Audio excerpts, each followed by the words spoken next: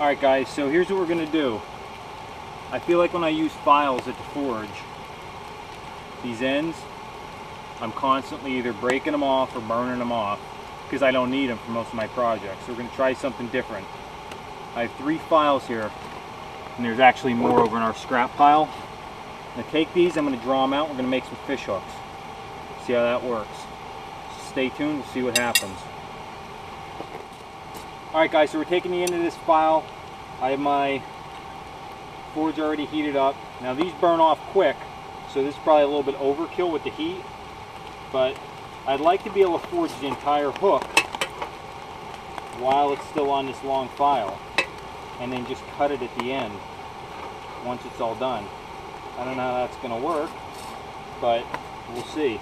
The thing is, why I want to try this experiment a little bit, like I said earlier in the opening, these ends, there's so many of them laying around here from us doing stuff with files. It's absolutely crazy.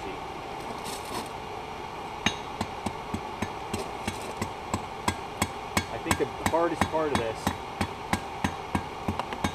is going to be controlling the heat on this, which I'm actually going to turn off my blower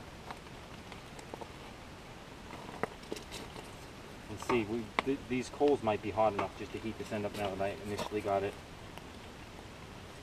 heated up. If, if that works, we're making a dozen fish hooks here with all the scrap that's around. So let's just keep drawing out this end. I'm to get this good and pointy. I know a lot of times when people put fishing hooks in survival kits, they're putting stuff that you can catch sharks with.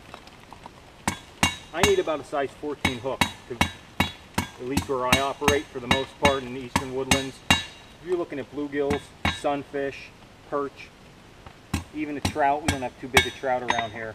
And where they are real big, they're normally stalked by somebody. So if I'm in a section like that, I should be able to get out. I really don't need to catch a fish to eat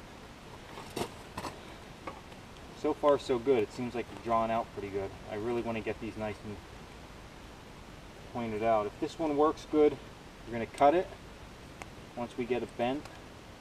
I will file it afterwards, but I'm going to get another bigger file out. We're going to try to cut a barb into it. Yep,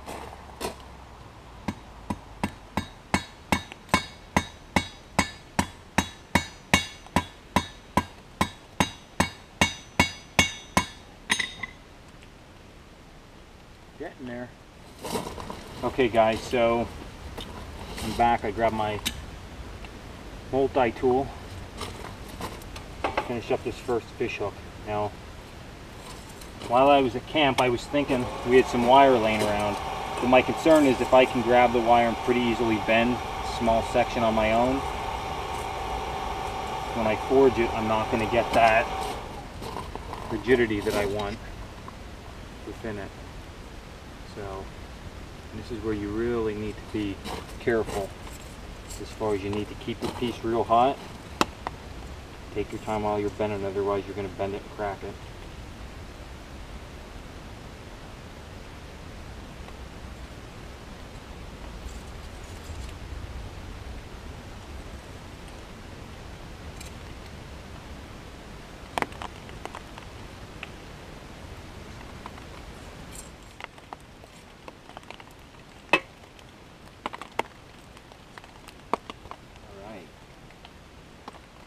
Very good.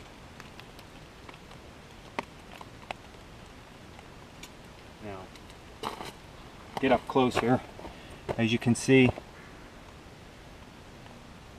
have a nice little hook. I'm actually going to chisel this portion off at right about where my pliers are at. One hit with the chisel should cut it through. I'm just going to warm that up a little bit. And then I'm going to flatten out this edge here. So it's um, flat on the end so when I tie on my rope or my line it doesn't pull off. I'm trying to think what company uh, Mustad hooks if you get them already with the leader on that's how they are. They don't have an eye on the hook. They just have a flat top on it. So I'm actually gonna because I said this is so delicate I may just be able to grab my file kit. I mean my chisels and cut off the hook. I just don't want that thing to go flying. So, see where we're at here.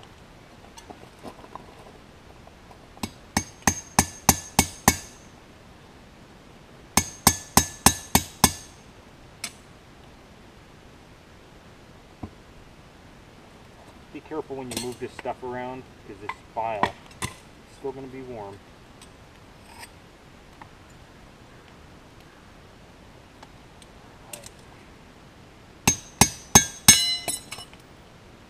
Alright. Drop my fish hook. So I'm to grab that and we'll get back. Alright guys, so we're still down here at the forge.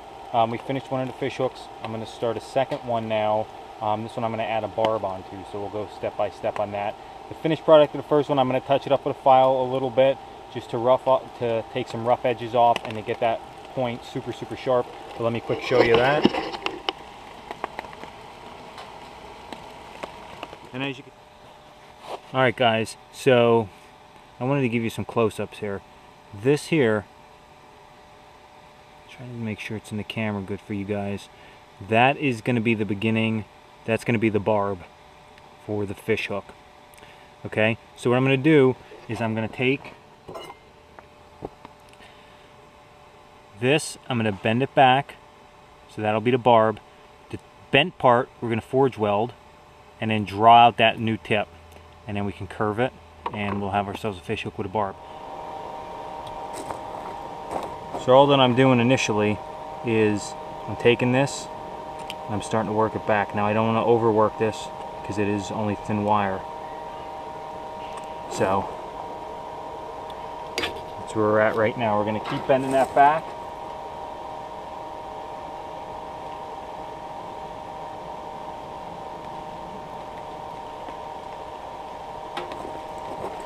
Just get that red hot.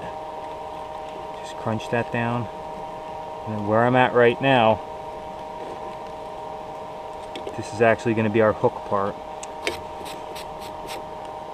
It's going to be our hook. So I'm going to pop up this a little bit, just like that.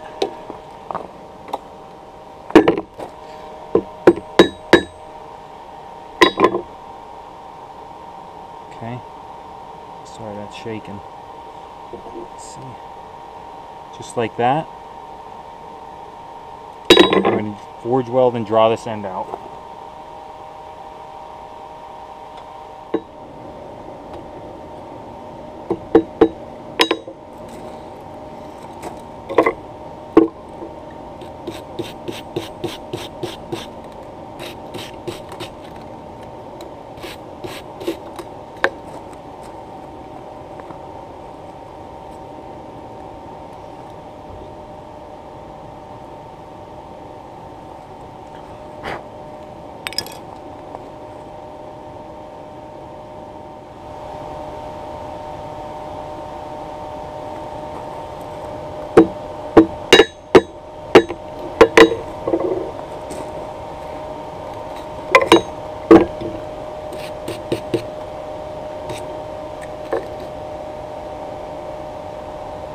So now what we're going to do is we're going to draw this point out and then we can fold it back.